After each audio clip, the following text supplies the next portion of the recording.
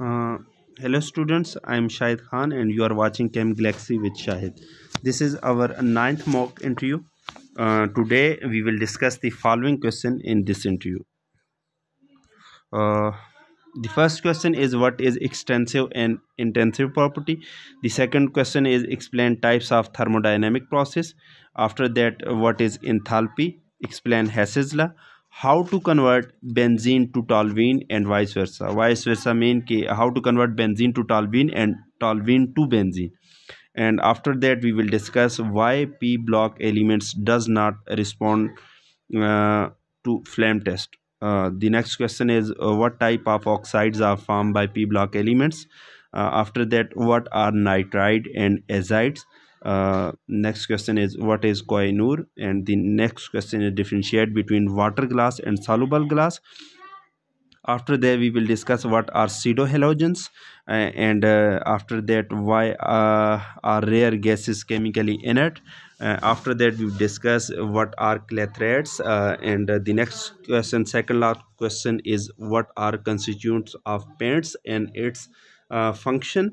And the last question is what are particulates matter? So these are a question which uh, uh, will ask in different interview uh, like lecturer chemistry interview your job interview if uh, your job is related to chemistry uh, some viva questions uh, in viva exam etc so you should know about these questions. So if you can answer all these questions so you can stop the video. And uh, if you didn't know about the answer of these questions so you should uh, uh, continue to watch the video and clear your concept. So we will start our session. The first question is what are what is extensive and intensive property extensive property and intensive intensive property so extensive property हमारे पास क्या होती है कि ऐसी property which depends upon the amount of substance are called intensive property के। ऐसी property जो अमाउंट ऑफ़ सब्सटेंस के ऊपर क्या करती है डिपेंड करती है, उसको हम क्या नाम देते हैं? एक्सटेंसिव प्रॉपर्टी और इसी तरह हमारे पास इंटेंसिव प्रॉपर्टी क्या होती है कि ऐसी property which does not depends upon the amount of substance के। वो प्रॉपर्टी जो अमाउंट ऑफ़ सब्सटेंस के ऊपर डिपेंड नहीं करती, उसको हम क्या नाम देते हैं? इंटेंसिव प्रॉपर्टी का नाम देते हैं। क्या मतलब? मतलब ये इस बात का कि एक्सटेंसिव वाली हमारे पास ऐसी प्रॉपर्टी होगी बच्चों जो किसी उस चीज़ के मैथ पे डिपेंड करेगी, ठीक है? और ये जो इंटेंसिव प्रॉपर्टी है, ये मैथ पे डिपेंड नहीं करेगी जी, ठीक है? अब इसकी एग्जांपल आपको क्लियर होनी चाहिए। एक्सटेंसिव प्रॉपर्टी में पहली प्रॉपर्टी जो आ जाती है वो हमारे पास मैथ है जी, ठीक है? उसके बाद आपके पास क्या होती है? वॉल्यूम आ, आ जाता है जी। उसके बाद आपके पास इंटरनल एनर्जी आ जाती है बच्चों। उसके बाद आपके पास क्या आ जाती है? फ्री एनर्जी आ जाती है। ये हमारे पास प्रॉपर्टीज़ हैं जो एक्सटेंसिव प्रॉपर्टी की property we depends upon the quantity या अमाउंट ऑफ़ मैटर उसको हम क्या बोलेंगे? एक्सटेंसिव प्रॉपर्टी या मैथ पे बात एक ही है। इसी तरह इंटेंसिव प्रॉपर्टी के, क्या है? जो अमाउंट ऑफ़ मैटर पे या मैथ पे डिपेंड ना करे, उसको हम क्या बोलते हैं? इंटेंसिव प्रॉपर्टी इसकी एग्ज़ाम्पल क्या है बच्चों? इसकी हमारे पास एग्ज़ाम्पल है सरफेस टेंशन पहली एग्ज़ाम्पल ठीक है? इसी तरह रिफ्रैक्टिव इंडेक्स ये एग्ज़ाम्पल है। और टम्परेचर ये जो प्रॉपर्टीज़ हैं ये आपके पास इंटेंसिव प्रॉपर्टी की कैटेगरी में आती हैं जी। आ, उसके बाद है explain types of thermodynamic process thermodynamic process क्या होते हैं इसको एक्सप्लेन करें जी। बेसिकली हमारे पास थर्मोडाइनेमिक प्रोसेस जो है ना बच्चों वो फोर टाइप्स के होते हैं। कौन कौन से? इधर बात करते हैं जी। एक हमारे पास थर्मोडाइनेमिक प्रोसेस होते हैं, जिसको हम कहते हैं कि वो कौन सा प्रोसेस है, वो हमारे पास उसको हम नाम देते हैं आइसोथर्मल प्रोसेस। आइसोथर्मल। ठीक है? ये पहला प्रोसेस आ गया। इसी तरह हमारे पास एक प्रोसेस होता है, जिसको हम बोलते हैं आइसोकोरिक। ठीक है? अच्छा इसी तरह हमारे पास एक प्रोसेस होता है, बच्चों। तीसरा एक प्रोसेस होता है, इसको हम नाम देते हैं जी आइसोबेरिक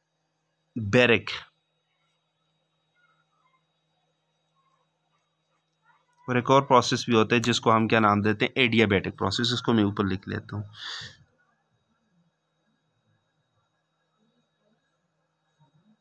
एडियाबेटिक ठीक है? ये अब क्या क्या होते हैं, इसको एक्सप्लेन कर लेते हैं। बच्चों, जो पहला प्रोसेस है आइसोथर्मल प्रोसेस है। ये कौन सा होता है कि ऐसा प्रोसेस जो कांस्टेंट टेम्परेचर पे हो, उसको हम क्या बोलते हैं आइसोथर्मल प्रोसेस मतलब ऐसा प्रोसेस जिसमें चेंज इन टेम्परेचर जो है, वो आपके पास क्या हो ज़ीरो उसको हम क्या बोलते हैं आइसोथर्मल प्रोसेस आइसोकोरिक प्रोसेस क्या होता है? कोरिक का मतलब आप वॉल्यूम ले लो कि ऐसा प्रोसेस जिसमें वॉल्यूम जो है वो आपके पास कांस्टेंट रहे। वॉल्यूम चेंज ना हो, उसको आइसोकोरिक प्रोसेस क्या मतलब? मसलन delta V change in volume जो है वो ज़ीरो हो तो उसको हम आइसोकोरिक प्रोसेस आइसोबेरिक प्रोसेस क्या होता है बच्चों? बेरिक प्रेशर के लिए यूज़ होते हैं कि ऐसा प्रोसेस जिसमें जो कांस्टेंट प्रेशर पे हो रहा हो, जिसमें प्रेशर चेंज जो है वो आपके पास क्या हो ज़ीरो हो तो उसको हम क्या बोलेंगे? आइसोबेरिक प्रोसेस और इसी तरह बच्चों हमारे पास एडियाबेटिक प्रोसेस क्या होते हैं? ऐसा प्रोसेस जिसमें हीट चेंज जो है वो आपके पास क्या हो? ज़ीरो उसको हम क्या बोलते हैं?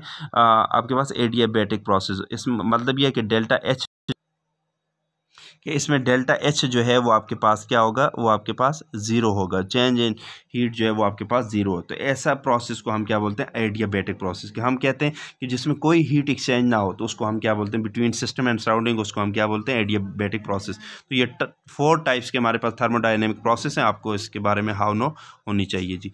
नेक्स्ट क्वेश्चन है वट इज़ इंथालपी इंथालपी क्या होती है? इसको एक्सप्लेन करें। तो बच्चों इंथालपी क्या होती है? ये बेसिकली हमारे पास क्या होती है? Heat content of a system heat content of a system उसको हम क्या बोलते हैं? इंथालपी बोलते हैं। तो इसको रिप्रेजेंट किससे करते हैं बच्चों? डेल्टा एच से हम इसको क्या करते हैं? रिप्रेजेंट करते हैं। ये दो टाइप की होती है डेल्टा एच ये आपके पास क्या होती है? पॉजिटिव भी हो सकती है और नेगेटिव भी हो सकती है। ये नेगेटिव भी हो सकती है, इसकी वैल्यू और पॉजिटिव भी हो सकती है। ये नेगेटिव और पॉजिटिव क्या एक्सप्लेन करती है बच्चों? ये टाइप्स ऑफ़ रिएक्शन बताती है। अगर जो हीट कॉन्टेंट या इंथालपी चेंज पॉजिटिव है, इसका मतलब आपके पास जो रिएक्शन हो रहा है, वो कौन सा है? वो एंडोथर्मिक है जी। अगर डेल्टा एच की वैल्यू पॉजिटिव है तो एंडोथर्मिक रिएक्शन, इसका मतलब हीट एब्जॉर्ब हो रही है। और डेल्टा एच की वैल्यू नेगेटिव, इसका मतलब आपके पास रिएक्शन आपके पास क्या है? एक्जोथर्मिक है। कि आपके पास बेसिकली जो हीट है वो आपके पास क्या हो रही है? रिलीज़ हो रही है जी। एक्जोथर्मिक रिएक्शन है जी। तो इस बारे में आपको पता होना चाहिए। ये थर्ड क्वेश्चन था। नेक्स्ट हमारे पास क्वेश्चन नंबर फोर है। Explain Hess's law Hess's Hess's law क्या कहते हैं बच्चों? कि आपके पास क्या है? कोई स्टेप्स हैं, कोई रिएक्शन है जो एक से ज़्यादा स्टेप में हो रहा है। ठीक है? तो उसके अंदर जो हीट चेंज है वो आपके पास या इंथालपी वो कांस्टेंट रहेगी। क्या मतलब? कि this law state that the total enthalpy change for a reaction is the same whether the reaction takes place in a single step और सेवरल स्टेप कि कोई रिएक्शन हो रहा है, वो एक स्टेप में हो रहा है या एक से ज़्यादा स्टेप में हो रहा है। उसके लिए जो हीट चेंज या इंथालपी चेंज है, वो आपके पास क्या होगी? कांस्टेंट होगी। वो सेम होगी जी। क्या मतलब? आपके पास कार्बन है ऑक्सीजन के साथ मिलता है बच्चों। क्या बनाता है? कार्बन डाइऑक्साइड बनाता है। ये एक स्टेप में रिएक्शन हो रहा है। इसकी कुछ डेल्टा एच की क्या होगी? वैल्यू होगी जी। ठीक है? हीट चेंज या इंथालपी चेंज की कुछ इसकी क्या होगी? वैल्यू होगी जी, ठीक है?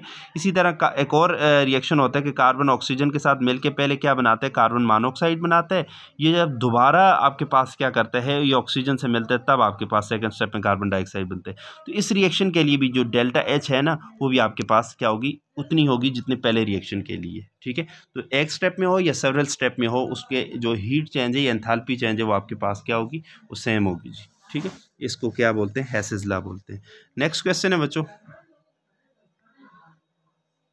अच्छा हाँ नेक्स्ट क्वेश्चन है how to convert benzene to toluene benzene को टॉलवीन में कैसे कन्वर्ट करते हैं? वाइस वर्सा वाइस वर्सा का क्या मतलब है कि टॉलवीन को दोबारा बेंजीन में कैसे कन्वर्ट करोगे? तो पहले हम बात करते हैं बेंजीन को टॉलवीन में कन्वर्ट करने के लिए कि ये आपके पास क्या है बच्चों? बेंजीन है। ठीक है? इसको जब हम क्या करते हैं? मिथाइल क्लोराइड के साथ रिएक्शन कराते हैं। In the presence of what in the presence of Lewis acid A L C L three ठीक है? तो आपके पास क्या बन जाती है? टालवीन बन जाती है, जी। ठीक है? मैकेनिज्म आपको पता है नहीं तो आप चैनल पे जाके देख सकते हैं वीडियो ठीक है? कि बेंजीन इसके साथ रिएक्शन करेगी कौन सा? इस रिएक्शन को क्या नाम देते हैं? Friedel Craft reaction Friedel Craft alkylation भी बोलते हैं, ठीक है? फ्रीडल क्राफ्ट अल्काइल ग्रुप क्या होते हैं? बेंजीनों के ऊपर ऐड होते हैं लिवस एसिड की प्रेजेंस में। अब टॉलवीन से दोबारा बेंजीन कैसे बनाओगे? तो इसकी हम क्या करेंगे? ऑक्सीडेशन करेंगे। ऑक्सीडेशन के लिए जो आपके पास रिएजेंट यूज़ होगा, वो आपके पास क्या होगा? के एम होगा, ठीक है? इसके साथ रिएक्शन करेंगे ऑक्सीडेशन तो आपके पास ये साइड चेंज जो है, ये कार्बोक्सिलिक ग्रुप में कार्बोक्साइल ग्रुप में क्या होगी? चेंज हो जाएगी और आपके पास जो प्रोडक्ट बनेगी, वो आपके पास क्या प्रोडक्ट बनेगी? कार्बोक्सिलिक एसिड बेंजोइक एसिड बन जाएगी, जी। ठीक है? इसका टॉलविन में बेंजीन में कन्वर्ट करना है तो इसका हम रिएक्शन कराएँगे सोडियम कार्बोनेट के साथ N A two C O three ठीक है? तो ये आपके पास सोडियम साल्ट में कन्वर्ट हो जाएगा सी डब्लो एन एम बन जाएगा और ये इसी तरह बेंजीन रिंग आ जाएगा। अब इसको हमने कुछ ऐसे रिएजेंट के साथ कराना है रिएक्शन जिससे डिकार्बोक्सिलेशन हो। क्या मतलब? उसके लिए आपके पास क्या होते हैं सोडा लाइम उसके लिए यूज़ करते हैं। सोडा लाइम का फार्मूला क्या होता है? कैल्शियम ऑक्साइड और सोडियम हाइड्रोक्साइड का मिक्सचर होता है। ये डी कर लेते हैं। N A sorry N A O H ये डिकार्बोक्सिलेशन कर लेते हैं जी, और आपके पास कार्बोक्साइल ग्रुप यहाँ से उड़ जाते हैं और आपके पास दोबारा बेंजीन बन जाती है। ये क्वेश्चन ऑर्गेनिक केमिस्ट्री है ऑर्गेनिक कन्वर्जन से इस तरह के क्वेश्चन अक्सर पूछे जाते हैं तो आपके इस बारे में हाउ नो होनी चाहिए जी। अच्छा बच्चों नेक्स्ट क्वेश्चन है why P block element does not respond to flame test flame test क्या होते हैं? हमारे पास मेटल कैटाइन को आइडेंटिफाई करने के लिए एक टेस्ट होते हैं, उसको फ्लैम टेस्ट बोलते हैं, ठीक है? जो एस ब्लॉक एलिमेंट्स हैं मेटल्स हैं, उसको हम इसकी मदद से डिटेक्ट करते हैं। तो कहते हैं, वो तो डिटेक्ट कर सकते हो। आप पी ब्लॉक एलिमेंट्स को क्यों नहीं डिटेक्ट करते? अब देखें आपको इसकी केमिस्ट्री बतानी चाहिए, फ्लेम कलर क्यों आता है? जब हम हीट करते हैं ना, किसी किस को इलेक्ट्रॉन को, ठीक है? तो वो क्या करता है, सपोज़ अगर इलेक्ट्रॉन यहाँ पे है ना तो वो उस एनर्जी को, फ्लेम की एनर्जी को एब्जॉर्ब करके ये हाई एनर्जी में चला जाता है, ठीक है? हीट एब्जॉर्ब की। अब यहाँ से जब वापस आ रहे होते मैं इस ब्लॉक की बात कर रहा हूँ तो ये जो हीट इसने एब्जॉर्ब की थी, ये रिलीज़ करता है। ये किस रेंज में होती है? ये रेडिएशन विजिबल रेंज में आती है, ठीक है? इसी वजह से हमें ये क्या होती है? नज़र आ रही होती है, ठीक है? मगर जब हम पी ब्लॉक एलिमेंट्स की बात करते हैं, इसमें न्यूक्लियस आपके पास बड़ा क्या होता है? स्ट्रांग होता है, तगड़ा होता है, ठीक है? यहाँ एनर्जी लेवल आपके पास क्या होता है? हाई होता है, जी। ठीक है? यहाँ पे अगर फ्लेम की वजह से एक्साइटेशन हो भी जाती है, ठीक है? तो डी एक्साइटेशन में जो एनर्जी रिलीज़ होती है, ये वाली एनर्जी हाई रेडिएशन होती है। क्या मतलब? कि मसलन ये अल्ट्रा वायलेट रेंज में हो सकती है ऐसे ऊपर हो सकती है। विजिबल रेंज में नहीं होती, इस वजह से फिर हमें ये नज़र भी नहीं आता। जब नज़र नहीं आता तो आपके पास इट्स मीन कि फ्लेम कलर को ये रिस्पॉन्ड नहीं करेंगे। फ्लेम कलर की मदद से फ्लेम टेस्ट की मदद से हम इसको आइडेंटिफाई नहीं कर सकते। जी, ये इसकी बेसिकली केमिस्ट्री है। तो इसको एक्सप्लेन कैसे करेंगे जी? ये तो हो गया कॉन्सेप्ट जो आपने सीखना है। अब एक्सप्लेन कैसे करेंगे कि the p block elements uh, does not respond to flame test the reason is that the excitation energy given de excitation energy given out by the electron when they came back to ground state does not appear in the visible region of the spectrum इस वजह से फिर हमें नज़र ही नहीं आता तो flame colour को रिस्पॉन्ड नहीं करते जी नेक्स्ट क्वेश्चन है what type of oxide are form by P block elements के पी ब्लॉक एलिमेंट्स जो है वो किस टाइप के ऑक्साइड बनाते हैं जी तो याद रखें बच्चों आपको ये पता होना चाहिए कि जो आपके पास पी ब्लॉक है एलिमेंट्स है, ठीक है? उसमें आपके पास कितने टाइप्स के एलिमेंट पी ब्लॉक है? ये क्या हो गया? अच्छा just minute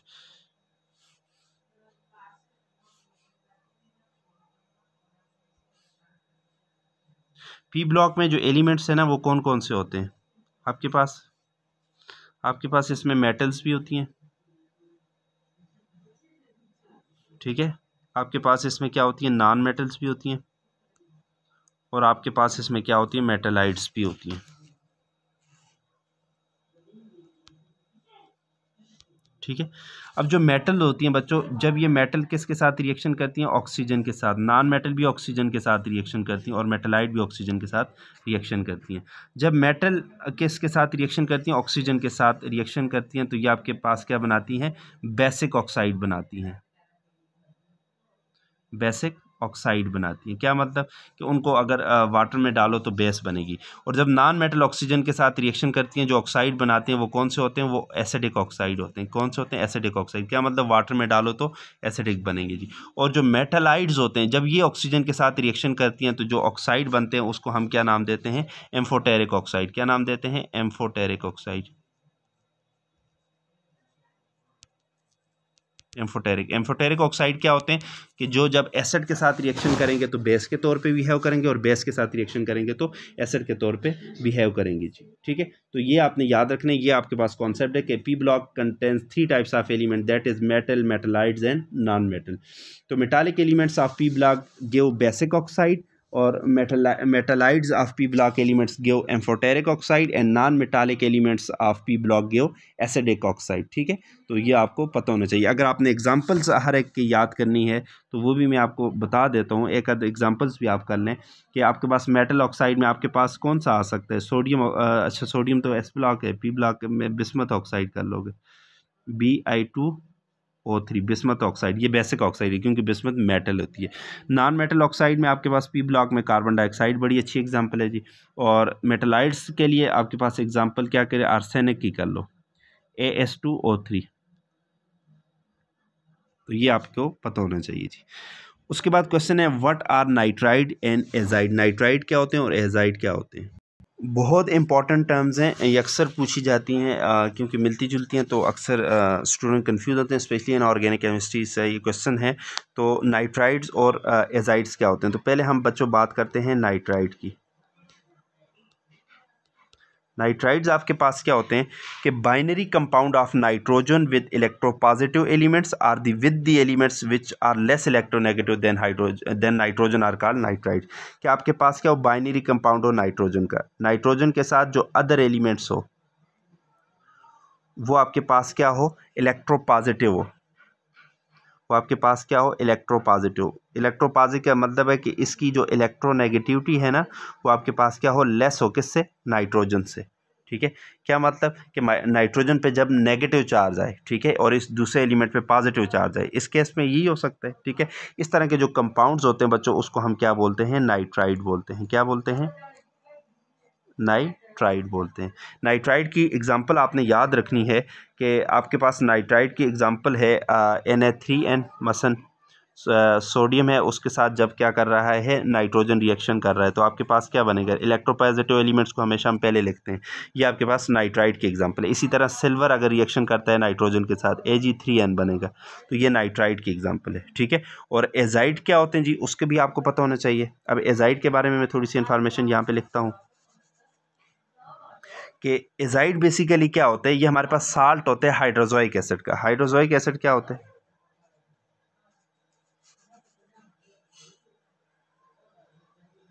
hydrazoic acid hydrazoic acid हमारे पास फार्मूला होता है एच एन थ्री ये इसको हम क्या बोलते हैं? हाइड्रोजोइक एसिड इसका अगर साल्ट है, इसका साल्ट का क्या मतलब इसको बेस के साथ रिएक्शन कराओ। इसका साल्ट क्या बनेगा? एन ए सोडियम हाइड्रोजन की जगह मेटल आ जाएगी और एन ए एन थ्री ये बन जाएगा। ठीक है? या आप सिल्वर के साथ रिएक्शन कराते हो तो ए जी एन थ्री बन जाएगा, ठीक है? तो ये साल्ट ऑफ़ हाइड्रोजोइक एसिड उसको हम क्या बोलते हैं? एजाइड बोलते हैं, जी। ठीक है? अब दोबारा मैं इसको क्लियर कर लेता हूँ कि नाइट्राइड क्या होते हैं कि when nitride binary compound of nitrogen with other element which is more electropositive than nitrogen or which have less electronegativity than nitrogen ठीक है? उसको हम क्या बोलते हैं? नाइट्राइड बोलते हैं। एग्ज़ाम्पल क्या है? N A three N A G three N ये एग्ज़ाम्पल जिसमें सोडियम नाइट्रोजन के नेगेटिव चार्ज है। और एजाइड क्या होते हैं बच्चों? The salt of hydrazoic acid are called azide मसन क्या है? सोडियम एजाइड ठीक है? इसी तरह सिल्वर एजाइड ये हमारे पास इसकी क्या होती है? एग्ज़ाम्पल होती है। बहुत इंपॉर्टेंट टर्म है, लाजमी आपको पता होना चाहिए जी। नेक्स्ट क्वेश्चन है व्हाट इज़ कोहिनूर? कोहिनूर क्या होता है? तो कोहिनूर का मतलब होता है कि माउंटेन ऑफ़ लाइट ठीक है? जो इसका मतलब है। ये बेसिकली क्या है? किसको कहते हो कि एक बड़ा मशहूर, क्योंकि कॉमन सा क्वेश्चन है, हर कोई पूछता रहता है। ये एक बड़ा मशहूर फ़ेमस डायमंड है। कैसा डायमंड है? क्यों ये मशहूर है? क्योंकि इसका साइज़ बड़ा लार्ज है जी। कितना इसका साइज़ होता है बच्चों? ये आपके पास है, क्या होता है? डायमंड होता है। डायमंड ठीक है? और इसका जो साइज़ होता है, वो आपके पास क्या होता है? वन एटी सिक्स कैरेट होता है। वन एटी सिक्स कैरेट होते हैं। कैरेट क्या होते हैं? अब आपको पता होना चाहिए कि फाइव कैरेट जो है ना ये बराबर होते हैं किसके? वन ग्राम के। फाइव कैरेट मिल के एक ग्राम बनाते हैं ठीक है? तो ये बेसिकली क्या है? आ, एक आपके पास कितने बन जाएँगे फिर? वन एटी सिक्स चलो वन एटी फाइव ही कर लो। आ, अगर हम यही कर लेते हैं आ, तो वन एटी फाइव को फाइव पे डिवाइड करो कितने ग्राम आ जाएँगे?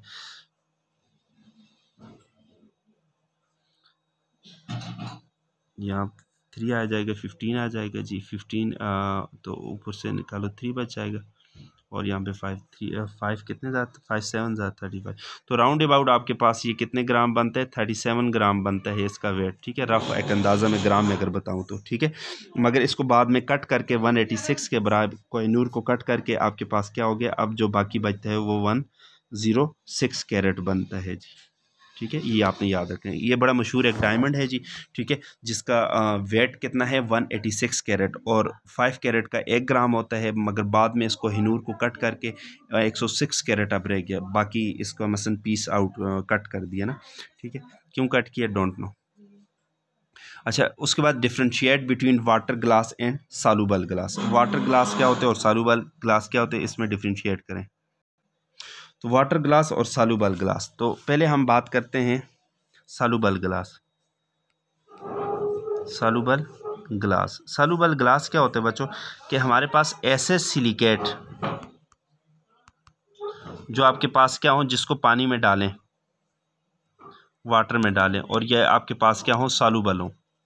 तो उसको हम क्या बोलते हैं? सालूबल ग्लास कैसे डिफाइन करेंगे? कि silicates which are soluble in water are called soluble glass ये बेसिकली होते क्या हैं? सोडियम सिलिकेट या पोटाशियम सिलिकेट ये पानी में हल होते हैं, जिसको सालूबल ग्लास बोलते हैं जी।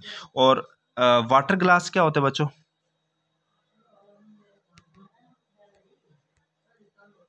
कि इन्हीं सिलिकेट का जो आपके पास क्या होता है? इनी सिलिकेट का जो आपके पास क्या होता है? एक्वा सोल्यूशन होता है। एक्वा सोल्यूशन का क्या मतलब? कि जब इसको पानी में हल करके जो सोल्यूशन ऑप्टेन किया जाता है, इसको हम क्या नाम देते हैं? वाटर ग्लास तो दोनों में डिफरेंस सालूबल ग्लास सालूबल का मतलब हल होगा। ठीक है? कि ऐसे सिलिकेट जो कि क्या हो, पानी में हल हो सके, उनको सालूबल ग्लास बोलते हैं। मसन सोडियम सिलिकेट या पोटाशियम सिलिकेट और आपके पास दूसरी टर्म मैंने क्या बताई कि वाटर ग्लास क्या होगा? जब वो पानी में हल हो जाएगा कि aqueous solution of soluble silicate या aqueous solution of soluble glass is called water glass उसको वाटर ग्लास बोलते हैं जी। दोनों में फ़र्क होना चाहिए। अप्लाइड की टर्म्स हैं। What are pseudo halogen pseudo halogens क्या होते हैं? सीडो का मतलब क्या होता है? झूठा और हेलोजन की तरह, हेलोजन की तरह लगता है जी। ये क्या होते हैं? सीडो हेलोजन सीडो हेलोजन्स हमारे पास क्या होते हैं? हमारे पास कुछ ऐसे रेडिकल होते हैं जो हेलोजन की तरह का बिहेवियर शो करते हैं। उसको हम सीडो हेलोजन बोलते हैं। कौन सा बिहेवियर शो करते हैं? मसलन आपके पास जो हेलोजन होते हैं ना, वो कोवलेंट डायमर्स बनाते हैं ना। क्या मतलब कि ये जैसे सी एल टू है या जैसे एफ़ टू है इस तरह के डायमर्स बनाते हैं। और हमारे पास कुछ रेडिकल्स होते हैं जो इनकी तरह आपके पास क्या करते हैं डायमर बना सकते हैं। उनको हम सीडो हेलोजन जैसे आपके पास क्या है, ये सी एन है और ये टू इस तरह हो सकते हैं सी एल टू की तरह, ठीक है? इसको हम क्या नाम देते हैं सियानोजिन का नाम देते हैं। इसी तरह एस सी एन टू ये भी डायमर कोवलेंट डायमर बनते हैं। इसको थायोसायानोजिन बोलते हैं। ठीक है? तो ये इस तरह के जो कंपाउंड्स होते हैं, इनको हम क्या बोलते हैं? सीडो हेलोजेंस का नाम देते हैं। नेक्स्ट हमारे पास टर्म्स है why are rare rare gases chemically inert chemically जो रेयर गैसेस होती हैं नोबल गैसेस होती हैं, वो केमिकली इनट क्यों होती हैं? इनको रेयर क्यों बोलते हैं? साथ ये भी बात कर लेंगे। तो बच्चों, पहली बात करते हैं कि why are these elements called rare gases इनको रेयर गैसेज क्यों कहते हैं? कि इनको रेयर गैसेज इसलिए कहते हैं because they exist only in minute quantity in the atmosphere आपके पास क्या होती हैं? एटमॉस्फेयर में बहुत कम पाई जाती हैं, इसलिए हम इनको रेयर गैसेज बोलते हैं। अब दूसरा जो पॉइंट है, बहुत टेक्निकल है।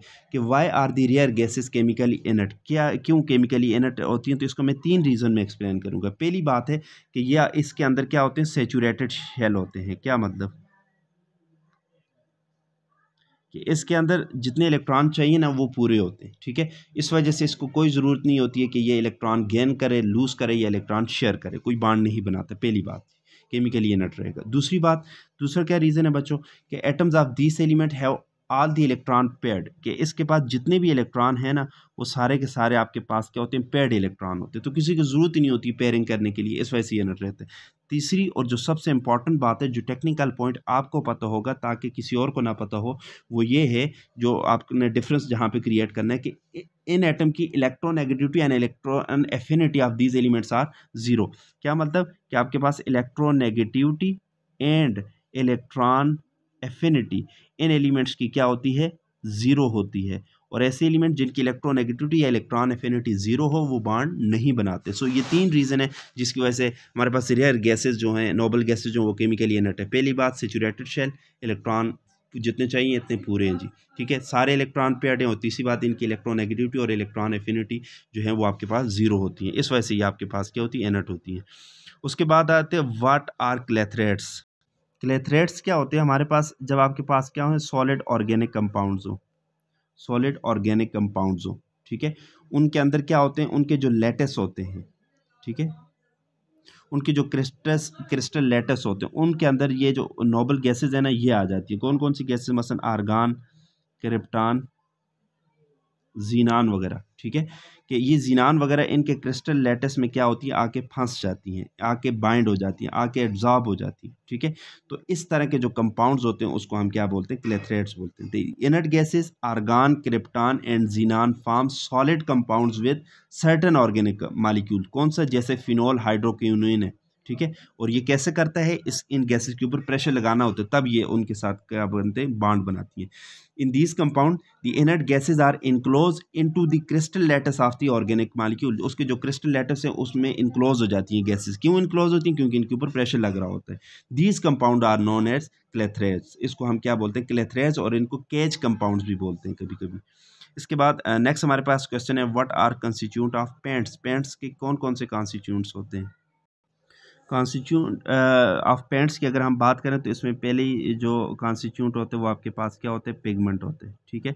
नेक्स्ट आपके पास जो कॉन्स्टिट्यूट होते हैं बच्चों वो आपके पास क्या होते हैं? मीडियम होते हैं। नेक्स्ट आपके पास जो कॉन्स्टिट्यूट होते हैं वो आपके पास क्या होते हैं? ड्रायर होते हैं।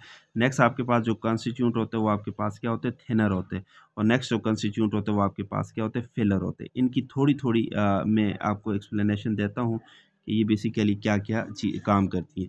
पिगमेंट्स जो होते हैं वो ये ऑर्गेनिक हो सकते हैं या इनऑर्गेनिक होते हैं, जो कि क्या करते हैं, एक करेक्टरिस्टिक कलर देते हैं। किसको? पेंट को, उसको हम क्या बोलते हैं? पिगमेंट बोलते हैं जी। ठीक है? अच्छा उसके बाद अगर हम बात करें मीडियम क्या होता है कि जिसके अंदर ये पेंट वगैरह डिज़ॉल्व होते हैं सॉल्वेंट वगैरह की बात करें, उसको मीडियम बोलते हैं। ड्रायर क्या होता है? ड्रायर बेसिकली ऑक्सीजन कैरियर होते हैं। ठीक है ऑक्सीजन कैरियर होते हैं और जो लेयर होती है पेंट की, उसकी ऑक्सीडेशन करते हैं या पोलीमराइजेशन वगैरह करते हैं, ठीक है? इसके बाद नेक्स्ट हमारे पास क्या होता है? थिनर थिनर क्या चीज़ होती है जी? थिनर क्या होता है? ये पेट्रोलियम वगैरह से वो ऑप्टेन होते हैं बेसिकली इसको क्या करते हैं? इसको ज़्यादा जमने नहीं देता। और जो फिलर होते हैं फिलर हमारे पास क्या होते हैं? चीप इनट मटेरियल होते हैं, जो लाइमस्टोन या कुछ भी हो सकता है, जो कि क्या करती है? इसकी कॉस्ट को क्या करते हैं? रिड्यूस करते हैं जी। नेक्स्ट क्वेश्चन है व्हाट आर पार्टिकुलेट्स पार्टिकुलेट्स हमारे पास क्या होते हैं? ये ऐसे पोलूटेंट्स होते हैं जो कि सॉलिड स्टेट में हो या फिर आपके पास क्या हो लिक्विड स्टेट में हो कि ऐसे pollutants the pollutants which exist the small solid or liquid pollutants are called particulate matter उनको पार्टिकुलेट्स कहते हैं जी। ठीक है पोलूटेंट्स होते हैं पोल्यूशन काज करते हैं, मगर सॉलिड या लिक्विड स्टेट में होते हैं, उनको हम क्या बोलते हैं particulates so these this is all about today session तो अगर आपको हमारा ये सेशन पसंद आया तो चैनल को हमारे सब्सक्राइब करें और बेल आइकन को भी प्रेस करें, ताकि जैसे ही हम न्यू वीडियो अपलोड करें तो आपको उसके बारे में पता चल जाए जी। बाकी अगर आपने सेशन नहीं देखे, वो भी आप उसमें जाके देख सकते हैं। Thank you so much for your time अल्लाह हाफिज़।